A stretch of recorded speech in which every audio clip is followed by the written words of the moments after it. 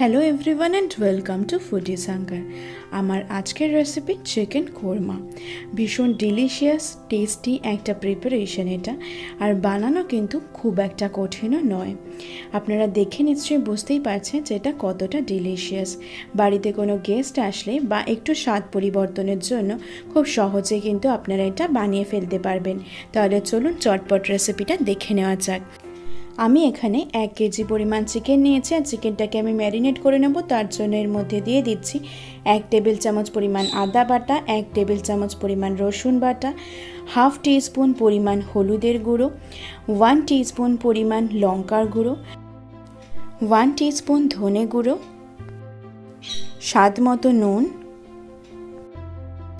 Half spoon গরম মশলার গুঁড়ো আর দিচ্ছি একশো গ্রাম পরিমাণ ফ্যাটানো টক দই। চিকেনটাকে আমি এবার ভালোভাবে ম্যারিনেট করে নিচ্ছি। আর ম্যারিনেট করা হয়ে গেলে আমি চিকেনটাকে এভাবেই রেখে দেব এক ঘণ্টার জন্য ম্যারিনেট হতে। এবার একটা মিক্সার গ্রাইন্ডারের মধ্যে আমি নিয়ে নিচ্ছি কুড়ি গ্রাম পরিমাণ কাজু।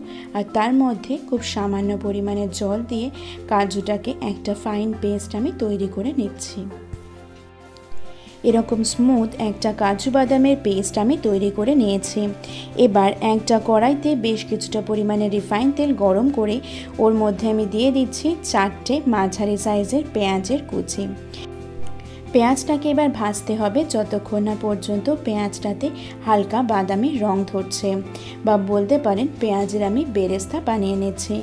আর বেরেস্তা বানানোর জন্য পেঁয়াজটাকে কিন্তু খুব পাতলা পাতলা করে কাটতে হবে। পেঁয়াজটা।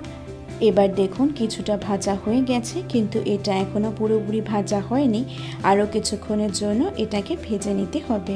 তবে খুব বেশি বাদামি করে কিন্তু পেঁয়াজটাকে ভাজবেন না, তাহলে কোরমার কালারটা চেঞ্জ হয়ে যাবে। এবার দেখুন পেঁয়াজটা ভাজা হয়ে গেছে, এবার আমি এটাকে একটা জায়গায় তুলে নিচ্ছি। আর তারপরে এটাকে ঠান্ডা হওয়ার জন্য রেখে দেবো, আর একটু ছড়িয়ে এটাকে রেখে দেবো। ফোড়নের জন্য আমি নিয়েছি দুটো তেজপাতা, চারটে স্টিকের দারচিনি, চার পাঁচটা ছোটো এলাচ, চার পাঁচটা লবঙ্গ আর দশ থেকে বারোটা গোটা গোলমরিচ। এবার ওই তেলের মধ্যে আমি সমস্ত ফোড়নগুলো একে একে দিয়ে দিচ্ছি। তারপরে দশ থেকে কুড়ি সেকেন্ডের জন্য এই ফোড়নটাকে একটু নেড়ে চেড়ে ভেজে নিচ্ছি। এবার ম্যারিনেট করা চিকেনগুলো আমি এর মধ্যে দিয়ে দিচ্ছি। চিকেনগুলো দিয়ে চার থেকে পাঁচ মিনিটের জন্য মিডিয়াম ফ্লেমে চিকেনগুলোকে আমি একটু কষিয়ে নেব। যতক্ষণ না পর্যন্ত চিকেনের কালারটা একটু চেঞ্জ হয়ে যাচ্ছে। আর আমার চ্যানেলের নতুন বন্ধুদের কাছে আমার রিকোয়েস্ট রইল, আমার চ্যানেলটিকে সাবস্ক্রাইব করে নেবেন আর পাশে থাকা বেল আইকন প্রেস করে দেবেন, তাতে পরবর্তী রান্নার নোটিফিকেশন আপনারা পেয়ে যাবেন। চিকেনটা যেহেতু দই দিয়ে ম্যারিনেট করা ছিল, তাই চিকেনটা থেকে যে পরিমাণ জল বেরোবে তাতে কিন্তু চিকেনটা রান্না হয়ে যাবে। এবার এটাকে আমি ঢাকা দিয়ে চার থেকে পাঁচ মিনিটের জন্য মিডিয়াম ফ্লেমে রান্না হতে দেব। চার পাঁচ মিনিট পরে এবার আমি ঢাকাটা খুলছি। দেখুন, চিকেন থেকে কিন্তু অনেকটা পরিমাণে জল বেরিয়ে এসছে। এবার আমি এর মধ্যে দিয়ে দিচ্ছি একশো গ্রাম পরিমাণ ফ্যাটানো টক দই। টক দইটা দিয়ে আবারও ভালোভাবে এটাকে আমি নেড়ে চেড়ে দিচ্ছি যাতে খুব ভালোভাবে টক দইটা আবার এর মধ্যে মিশে যায়।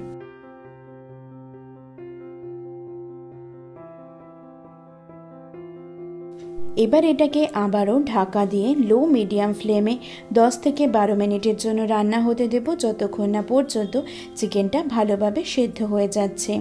এবার একটা মিক্সার গ্রাইন্ডারের মধ্যে আমি ভেজে রাখা পেঁয়াজটা বা বেরেস্তাটা নিয়ে নিচ্ছি। আর পেঁয়াজটা ঠান্ডা হওয়ার পরে তবে কিন্তু সেটাকে বাটবেন, তার আগে কিন্তু এটাকে বাটবেন না। খুব সামান্য পরিমাণে জল দিয়ে এবার আমি পেঁয়াজটাকে একটা মিহি পেস্ট তৈরি করে নিচ্ছি। আর পেঁয়াজটা ভাজার সময় খেয়াল রাখবেন যেন এটা কোনোভাবে পুড়ে না যায়। এই রকম একটা পেস্ট আমি তৈরি করে নিয়েছি। দশ মিনিট পরে এবার আমি ঢাকাটা খুলছি। দেখুন, এটা কিন্তু ভীষণই সুন্দর দেখতে লাগছে।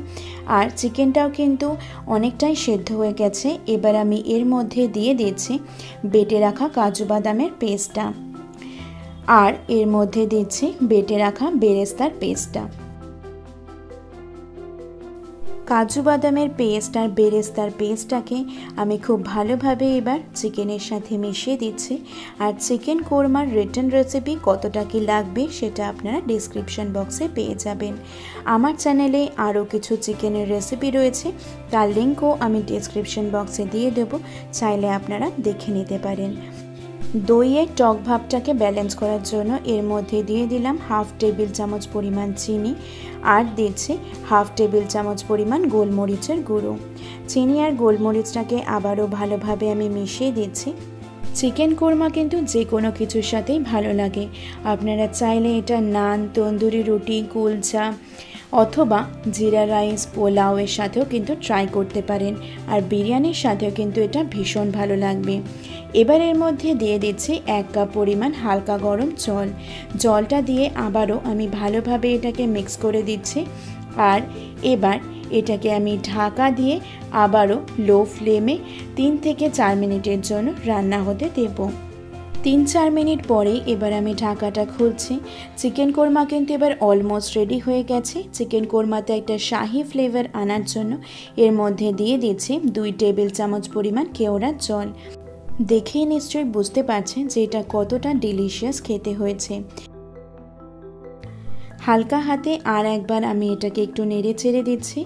আর চিকেন কোরমা এবার একদম রেডি হয়ে গেছে। এবার আমি গ্যাসের ফ্লেমটাকে বন্ধ করে দেব। আর এটাকে ঢাকা দিয়ে দু মিনিটের জন্য স্ট্যান্ডিং টাইমে রেখে দেব। দু মিনিট পরে এবার আমি গরম গরম চিকেন কোরমা সার্ভ করে দিচ্ছি। আশা করছি আপনাদের এই রেসিপিটা ভালো লেগেছে, কেমন লাগল আমাকে অবশ্যই জানাবেন। কোনো রকম কোনো কোয়ারিজ থাকলে সেটাও কমেন্ট করে জানাতে পারেন।